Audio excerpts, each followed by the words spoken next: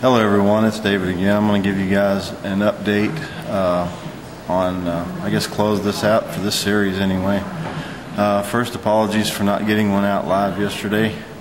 Uh, right after the hurricane, we were able to get out. We were just way, way, way too busy because um, we're not only doing this for the, the vlogs we're doing here, but we also, uh, this is a job as well. So, you know, we had work to do and uh, getting video for media and whatnot.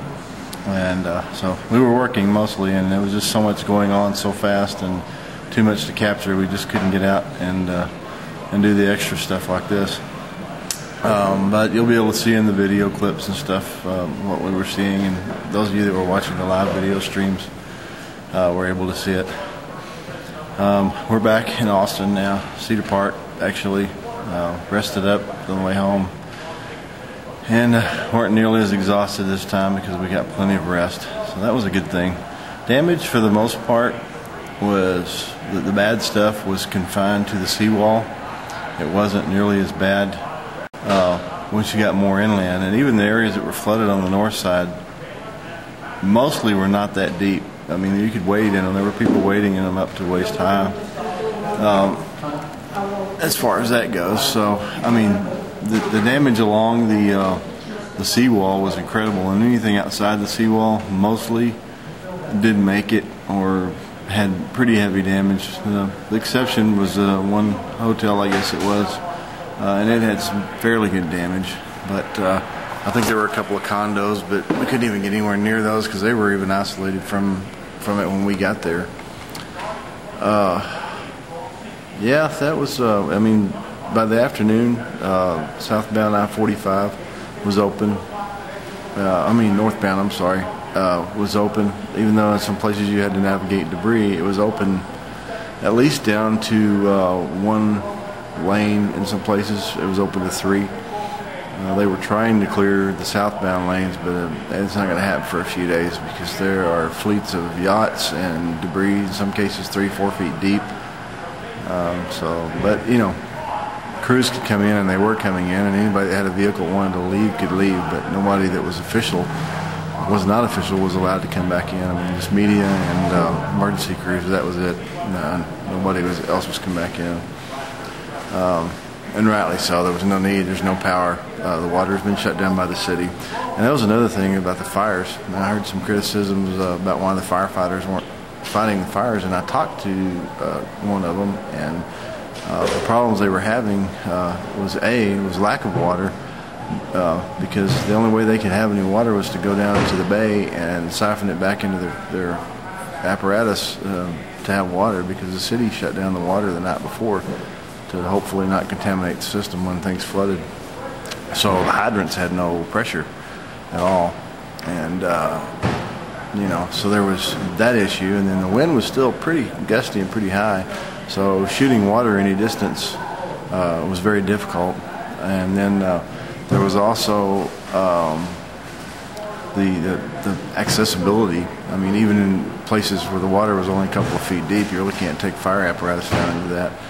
And there was telephone poles across the road or debris or uh, I mean, we saw fire hoses draped across poles that they dragged down there. In some cases, there was fire hoses laying around they had to abandon.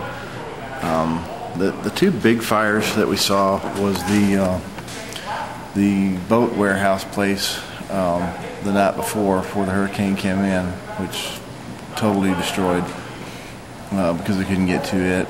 And then the uh, fire uh, at the apartment complex, which was still raging even when we left it. Uh, they just couldn't put it out. Uh, there was a few other isolated fires, but those were the two really big ones that went on.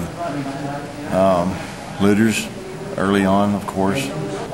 Police got out early and they were mostly ignoring the looters at first, and then we started seeing them stop a few. But mostly they were guarding the large piles of debris from the, the businesses uh, along the, that coast thing, or blocking uh, access to streets that were flooded that they couldn't get down. Uh, seeing some uh, small boats and watercraft, airboats, things like that, they were going up the streets to use. But even in those, there were people walking in them. Uh, you know, waist high, maybe even chest high, but Um, you know, we could tell the water had been higher than that earlier, obviously, you know, but it wasn't washing away homes except evidently out on the west end. Some of the shots you've undoubtedly seen on the helicopters, but we just couldn't uh, get down there. The police we talked to that blocked the way down there said they didn't know what was going on because they couldn't see it. Um, they couldn't get down there. So the helicopter shots, what you saw was what what they knew, and that was it. Um, the uh, areas inland in the main part of Galveston, to be honest, damage-wise, were not that bad overall. Um, there were a few incidents you would see damage that was significant, but mostly it was just minor roof damage windows were blown out. Um, maybe some of the window coverings people did put on were blown off. Um, trees, of course, some power lines, uh, things like that. Um, but most of the main center of the residential and businesses and stuff fared fairly well. Um, so what you see on TV is mostly the, the really graphic stuff, which of course is what you're going to see on TV. And, and uh, by far, from what we saw, most of it was either uh, right along the Seawall Drive there, or uh, along I-45 going out, or the um, the other road there. I can't think of the street number at the time that cuts over from 45 to the beach because they were ex exposed to the wind and the water, and of course everything piled up against them. The railroad that goes uh, along I-45 going out is no longer. Most of the railroad ties are up on I-45. I'm sure the rails are in the bay somewhere. Um, when we went out on 45, was they were cleaning it, the boats and things up on there were crazy. You never seen so many ice coolers in your life. I don't know where all those came from. And uh, I forgot to get the video of all the nipples on the side of the road. There was a place we stopped at, take some pictures, and there were thousands of baby bottle nipples in little plastic, like they come when you sell them, along the side of the road. I'm assuming they were stored somewhere around there and, and got washed out. I've never seen so many of those in my life. It's just a little amusing anecdote we noticed there on the side of the road. Um, most of the people we talked to uh, were in pretty good spirits. Um, believe it or not, they were more upset they were kind of inconvenienced for a while than anything else. The only ones that seemed kind of in despair and asked for anything were the uh, the homeless people that were by homeless, the ones that were homeless before the hurricane. Asked for money, asked for cigarettes, asked for water in that order. They were more worried about money and cigarettes than they were some water to drink. The people from the poop deck, we ran into them again where we shot the, the video for uh, the Fox News uh, deal. They uh, made it, the bar made it, they said it would. It always has on the hurricanes. So, you know, what do you say to that? It's kind of ironic. Um, but they were in good spirits and much more sober today, though.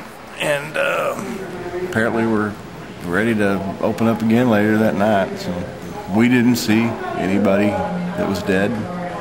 We didn't see anybody laying around or anything like that. In fact, we didn't even see a, a whole lot of people, but there were people out riding their bikes walking around and uh, doing all that kind of stuff. So, you know, just just know that what you're seeing on the media outside, at least in the main part of Galveston, um, you're seeing the really bad shots along the businesses and things that were out, and the homes, and probably anybody you knew that stayed in the mainland there is probably okay. Uh, communications is very spotty. I mean, we had cell coverage from the mainland because we had uh, boosters and ties to uh, antennas and stuff, so we could get it. But um, there probably won't be any other communications for a while. Uh, but uh, I would imagine most of the people that stayed behind on the mainland, up in the uh, the main part of Galveston itself, is probably going to be okay. So even if you haven't heard from them, you know, I'm sure they're fine, and they're getting uh, water and food and stuff in there. So, uh, you know, I think they're probably going to be in good shape. So that's been kind of long, but I'll go ahead and wrap this up and, uh, you know, keep watching for some of the video to be up and stuff like that. In fact, I think they have some of it up already. And we'll talk to you guys again.